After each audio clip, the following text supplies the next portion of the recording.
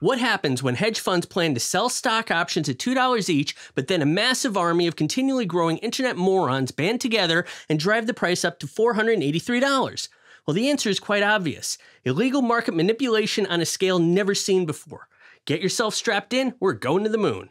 My name is John Ross of Finance on a Budget. When hedge funds stand to lose billions overnight, there is no end to the number of underhanded tricks they will pull to dig themselves out of the mess that they've created for themselves. With the spotlight being on GameStop and AMC stocks, a new type of stock investor has emerged the retards, as they call themselves. Everyone has heard something about this on the news, but what you may not understand is how these and other stocks have been manipulated to the nth degree. In this video, I will be explaining what companies like Melvin Capital and Citadel were doing to make money, how Keith Gill and Wall Street Bets managed to bankrupt Melvin Capital only to later be bailed out by Citadel and Point72 at a tune of $2.75 billion. Yeah, that's with a B. We even know that the short squeeze hasn't happened yet because every single day they are making the most desperate moves, continually forcing the prices lower, even as I write this. By driving the stock prices up and down, they are desperately trying to make enough money to cover the bloodbath that is coming. Eventually, they will need to buy these stocks back, and they're trying desperately not to go out of business in the process. The hedge funds. Melvin Capital is at the center of this trading frenzy. They are now defendants in at least nine lawsuits by retail investors alleging a conspiracy to limit trading that caused them to lose money. Citadel is another hedge fund that is also front and center with 11 class action lawsuits against them for the exact same reason. These hedge funds are companies that use money from high net worth investors, corporations, foundations, and pension funds. They apply this borrowed money to various strategies to generate more money. In this very specific situation, they are dealing with puts or betting against the company's stock prices and hoping that they're going to fall. This type of strategy has always confused me because I could immediately see that they could lose everything if the stock prices continued to rise. The risk of losing massive amounts of money made no sense to me at all. Apparently, that's the reason why these companies are standing to lose everything because of their greed. The biggest issue for the way that they have been trading is they have over leveraged themselves by more than 100%. The numbers have become very sketchy because they lie all the time, and no one can trust them. So we don't know how much over 100% they need to buy back, but it's significant. What did Wall Street Bets do? Wall Street Bets are a group of internet investors, apes, who are buying up GameStop and AMC stock as much as they can get their hands on. By buying and owning as much as they can, at some point the hedge funds are going to have to buy it back from them. This is where the madness starts to kick in. By themselves, they started with like 3 million readers in a subreddit forum all looking to cash in. Once the news of what was happening became national attention, the numbers rose to 10 million and beyond. Now this idea really had legs, and the motto for months had been Ape Strong, Hodl the Line, and Diamond Hands. Not to omit my own personal favorite, rocket ships. Pew pew pew! Okay, fine. They don't actually say that, but I say that all the time. What did Keith Gill do? Keith Gill is being hailed as a hero. He is a financial analyst who felt that GameStop stock was horribly undervalued at 2 to $3 a share. So he started buying it, a lot of it.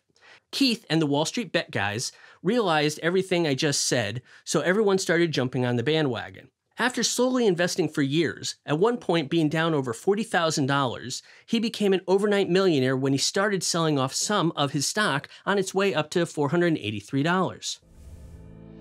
What happened on January 28th? This was the day that the stocks rose to crazy numbers. As it went higher, the back end of the market went crazy with Robinhood halting trades and investors not being able to buy shares, instead, only sell them. This is why Robinhood now has a whopping 90 lawsuits against them. Investors across the board were furious, but Robinhood took the cake. But in general, trades across the systems were being suspended, everything tripped and stumbled over itself until the market was shut down for the night. Soon after, the hedge funds did ladder attacks to bring the price back down, ultimately to around 50 to $60 each. The basic idea behind a ladder attack is they flood the market with stocks based on consistently lower price points, usually by a penny. They use a secondary account to buy the shares right back, now at the lower rate of one penny less. This generally happens so fast, it's over within minutes. It could also be dragged on for over an hour.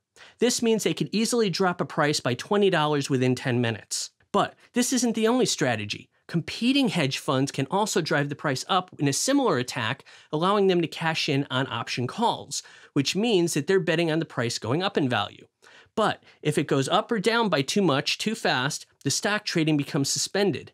It's only supposed to be for like five minutes, but one afternoon it was suspended for like 20 minutes until the market closed. This is no longer about the small investor against the big hedge funds, but rather hedge fund against hedge fund. If they can bankrupt the competition and make an absolute financial killing along the way, then why not? This simply leaves us small investors to be little more than spectators while they fight it out. When the hedge funds start doing ladder attacks and they drive the price down lower and lower, if it reaches a certain point, what can happen is stop losses. A stop loss is when somebody buys a stock and then says at some point, if it drops too much, just sell it immediately. So when these ladder attacks go down a certain amount, 20 or 30 dollars these stop losses kick in and suddenly everybody starts dumping and you lose a huge amount of money on the stock Meanwhile, the hedge funds got exactly what they wanted, and then it takes the rest of the market a few days to actually recover. Similarly, there was also a run up on March 10th. By this point, I was somewhat financially invested in both GameStop and AMC. I am fascinated by what has unfolded, and there's still so much more to go. Why do GameStop and AMC stocks go up and down together? This is an often asked question. It's not just GameStop and AMC linked at the hip. Other similarly shorted stocks like BlackBerry, Fubo, Naked, and Sundial Growers that are all doing the exact same thing. But the question is often why? The reason is that these stocks are placed into ETF stocks. Unlike regular stocks, ETF stocks buy other stocks as part of a portfolio. So, if a hedge fund manipulates the ETF, all the stocks inside of it tend to follow the same trends. This used to be beat for beat, but since it all started, things have changed a bit. These days, while AMC largely follows GameStop, it's not all the time. What did Congress do? Congress stepped in and had a hearing, multiple ones actually. Even our hero Keith Gill, also known as Roaring Kitty, was invited to join in, and he absolutely crushed it. So, you recommended uh, GameStop uh, before. Would you buy their stock now at roughly 45? You were talking about buying it and being happy uh, when it hit cross 20. So, are you buying that stock today? Well, let me just say that investing can be risky, and my particular approach to investing is rather aggressive and may not be suitable for anyone else. But for me personally, yes. So, yes or no? Are you buying the stock? And for me personally, yes, I do find it's an attractive investment at this price point. He then went home, and you guessed it, he bought more stock. Meanwhile, Robinhood thanked every one of the congressmen for their questions, then proceeded to avoid answering any of them. Of course, he wasn't the only one. Is any of this even legal? The manipulation of the market is definitely a no, not legal. However, proving the manipulations could be hard, even though obvious. This is the reason for using ETFs as a pass through entity. So, no, it's not legal, but doubtful anything will come of it. Same with the lawsuits. Everyone will blame everybody else. It's a mess. Can any of this crazy profit really happen, or is it all just a dream? As strange as it sounds, I feel like we've drifted off into a parallel universe anyway. Since November, Biden won the presidency. Two Democratic Georgian senators were elected. Ultimately, this meant that we received the promised large stimulus package.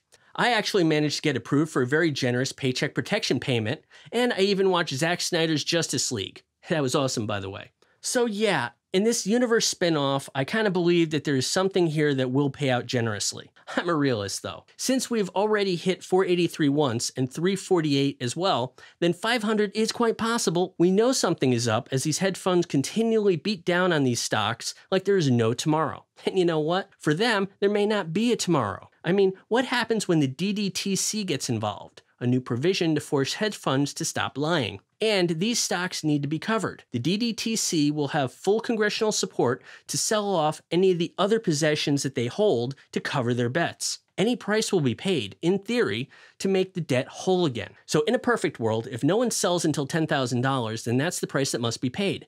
While we have seen prices like this listed in our order book, it has to get past everyone who will be happily selling at 500, 800, or 1000. Personally, if I were to sell GameStop at $500, I would be making some serious bank. Can AMC do what GameStop can do? Absolutely. Think of it this way. If GameStop actually reaches 800 and $1,000, you should know full well that all of these Wall Street bettors are going to double down on AMC next. While there are other stocks that also qualify, AMC is going to be the next big bet. I already own hundreds of AMC stock because it was so cheap, why not? Again, it's also worth more than it's currently priced at. If this stock goes next, I will make a fortune. If it doesn't, the company is still poised to make big moves in the next two years, gaining back its true value in the market.